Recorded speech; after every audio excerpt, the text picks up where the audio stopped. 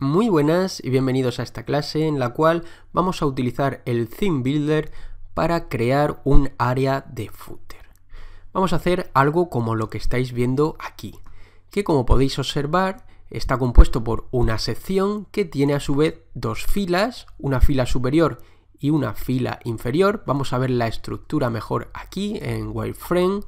Tenemos una sección, que es todo el contenedor, y luego una fila superior con una sola columna donde tenemos colocado el menú y luego una fila inferior en la cual tenemos dos columnas. En la izquierda tenemos un módulo texto con un mensaje y en la derecha tenemos un módulo de seguir en medios sociales. La distribución que tenemos aquí, fijaros, es esta.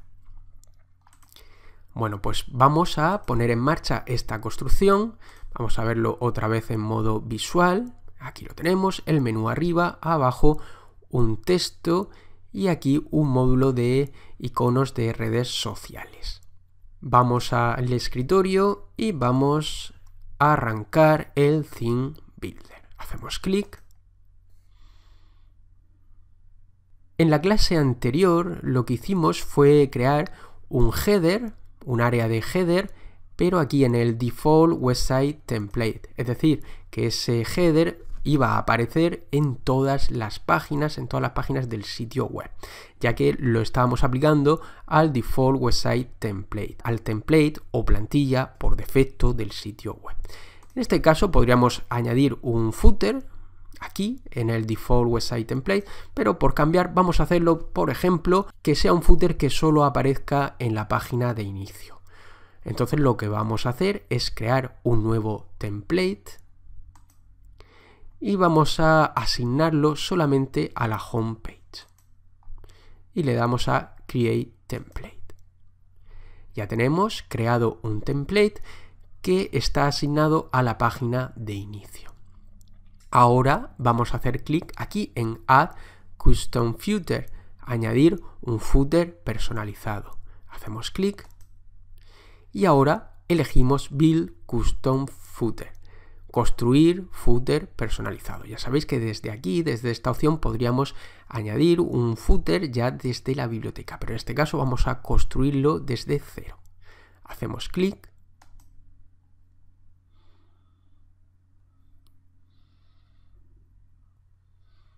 y hacemos clic en empieza a construir.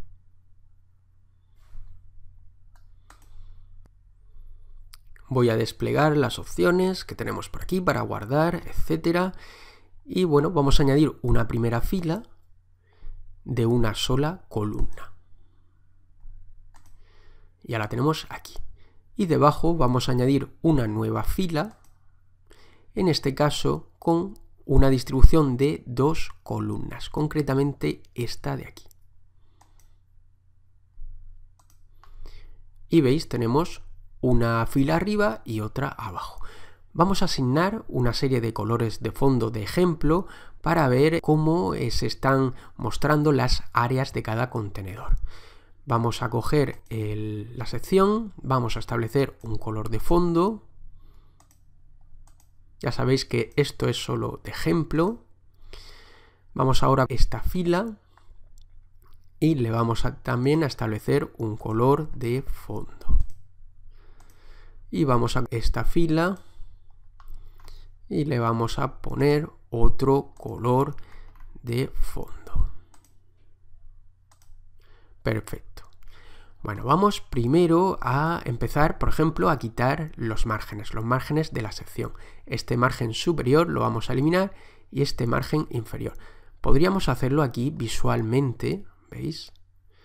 Pero es difícil afinar y dejarlo exacto. Aunque bueno, parece que se ha quedado bastante bien, pero puede que no esté exacto.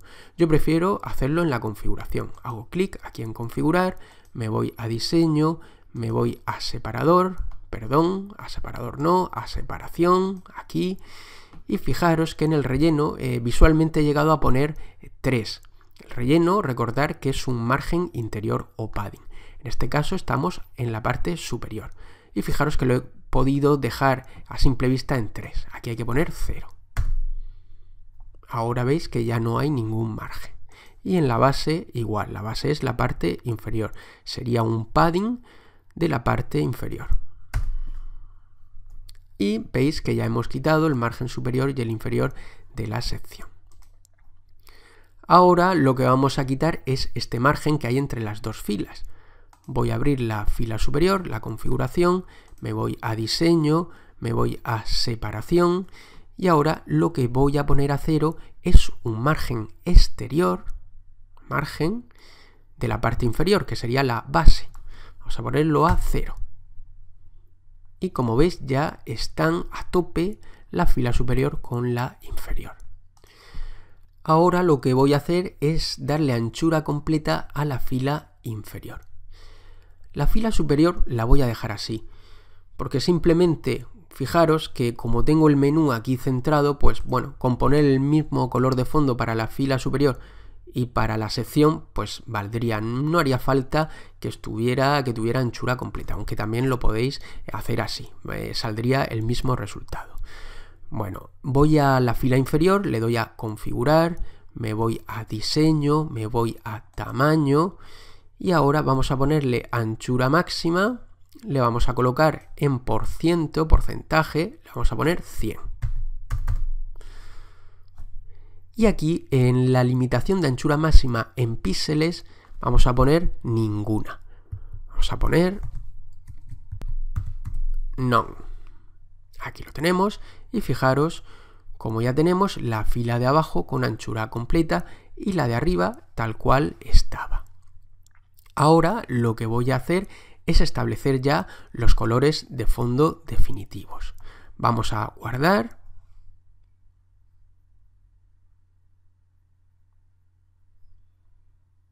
En primer lugar voy a establecer el color de fondo de la fila inferior. Vamos aquí a fondo. Vamos a coger el color que lo tengo por aquí apuntado. Este sería de la fila inferior.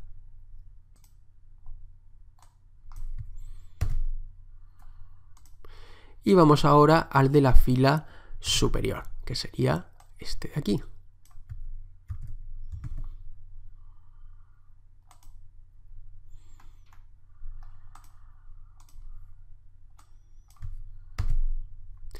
Y hemos dicho que en la sección le vamos a dar el mismo color de fondo.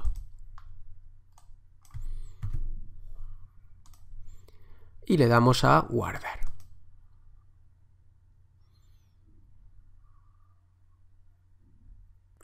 Ahora eh, vamos a proceder, por ejemplo, en la parte superior a añadir el menú. Hacemos clic para añadir un nuevo módulo y vamos a añadir el módulo menú.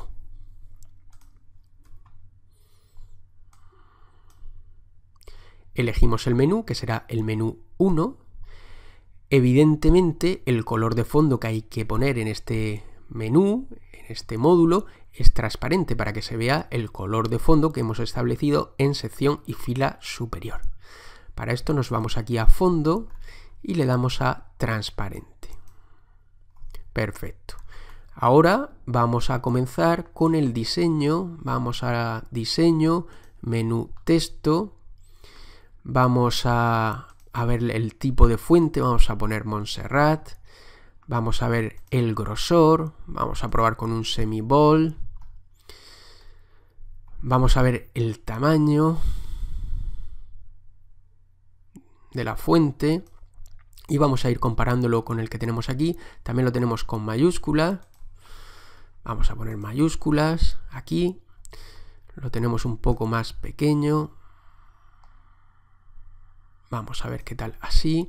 Y vamos a darle algo menos de grosor. Vamos a ponerlo en medio. Eh, color, vamos a poner el color blanco y ahora lo que vamos es a alinear el texto al centro. Bueno, yo creo que podría ser algo así. Vamos a ver. Sí. Un poquito más pequeño el texto.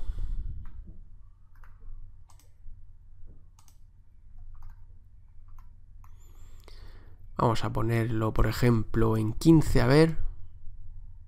Bueno, mejor. Y ahora voy a reducir estos márgenes. Este sería el margen interior, superior de la fila, que si queréis vamos a verlo en la configuración.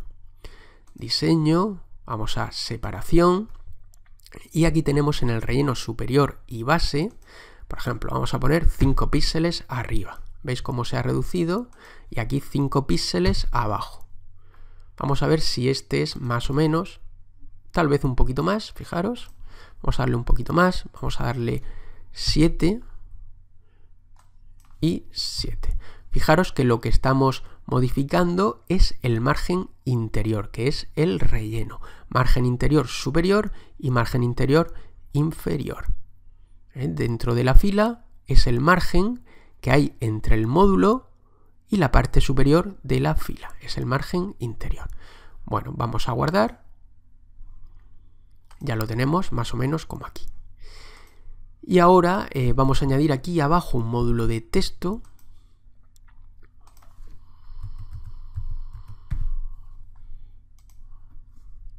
Vamos a poner el texto que tenemos por aquí preparado.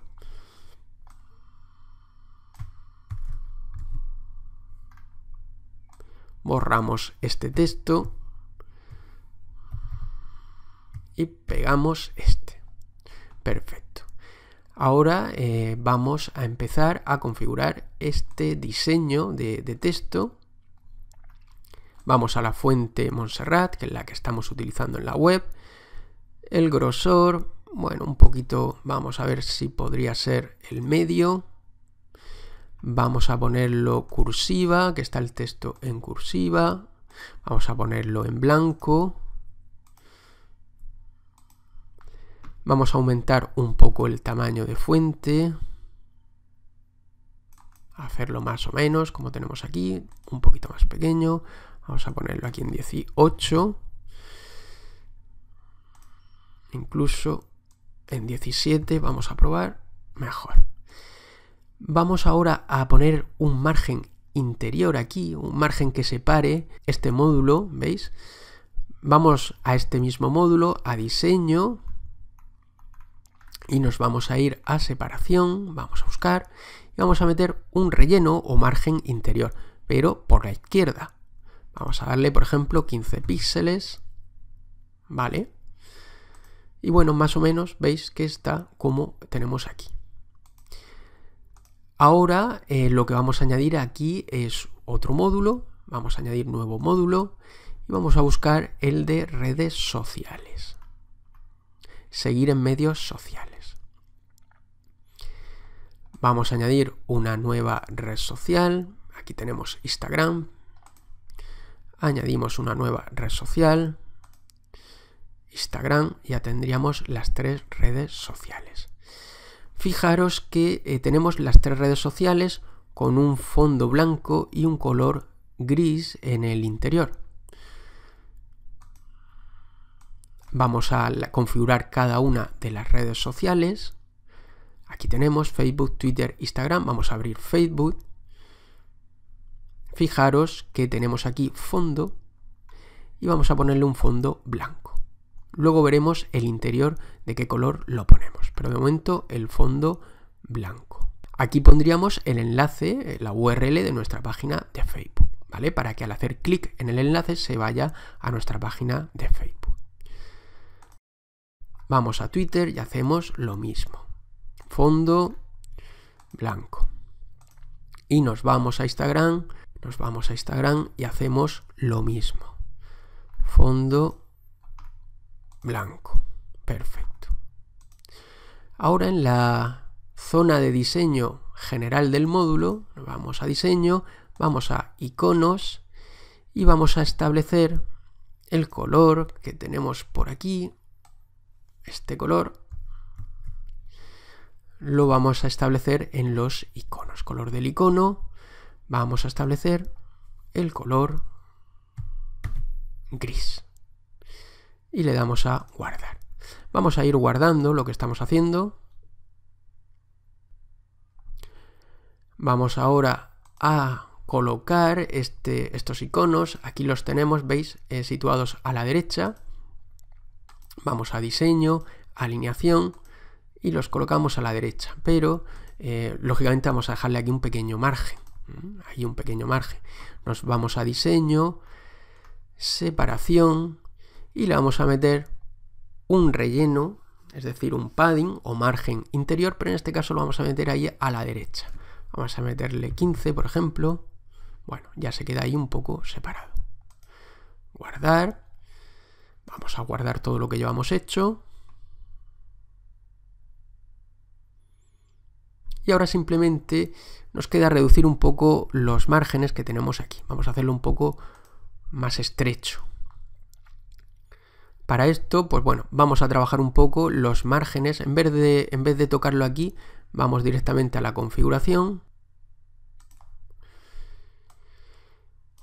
Vamos a diseño, separación y lo que vamos a tocar es el margen interior, es decir, el relleno, superior y base. Por ejemplo, vamos a poner 10 aquí, a ver qué tal. Vamos arriba a comprobar, le tenemos que dar más. Vamos a ponerle 20.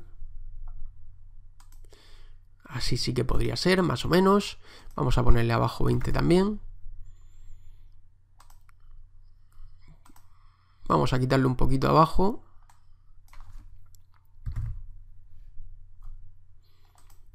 Y ya podría estar bastante similar. Bueno, pues vamos a guardar y ya tendríamos nuestro diseño de footer personalizado. Para luego poder reutilizarlo, como ahora lo vamos a añadir a este template, pero luego los vamos a eliminar, si queremos luego reutilizarlo en cualquier sitio, lo que voy a hacer es guardarlo en la biblioteca. Y vamos a ponerle el nombre pie 1 curso. Y le damos a guardar en biblioteca. Volvemos a guardar, por si acaso.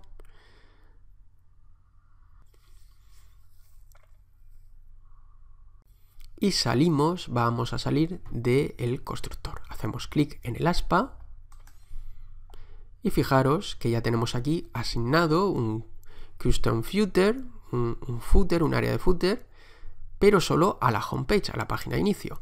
Recordar que para que todo esto se aplique debemos guardar los cambios. Hacemos clic y ahora vamos a ver la web.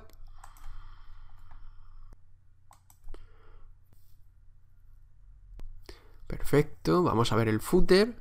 Fijaros que aparece el footer que acabamos de crear, pero solo debe aparecer en la página de inicio, que es la que estamos ahora. En el resto de páginas debe aparecer el footer que teníamos antes, que en este caso, como no tenemos aquí en Default Website Template ningún footer global añadido, el footer que debe aparecer es el que tenemos personalizado desde el personalizador de temas.